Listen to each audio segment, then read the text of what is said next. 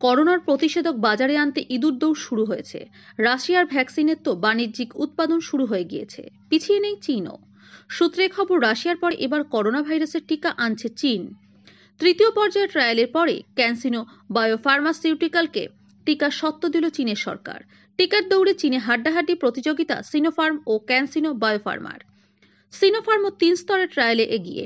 অন্যদিকে ক্যান্সিনো দেশের বাইরেও ট্রিকার ট্রায়াল চালাচ্ছে।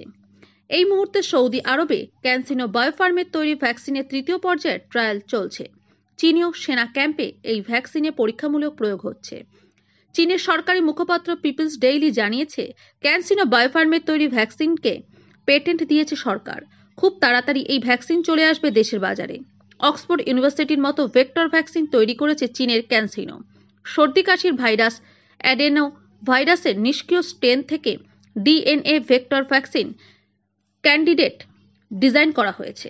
এই ভ্যাকসিন ক্যান্ডিডেটের নাম এডি ফাইভ এনকোভ ক্যান্সিনোর ভাইরোলজিস্টরা জানিয়েছেন, করোনার স্পাইক প্রোটিন নিষ্ক্রিয় করে অ্যাডেনোভাইরাসে স্টেনের সঙ্গে মিলিয়ে ভেক্টর ভ্যাকসিন তৈরি হয়েছে।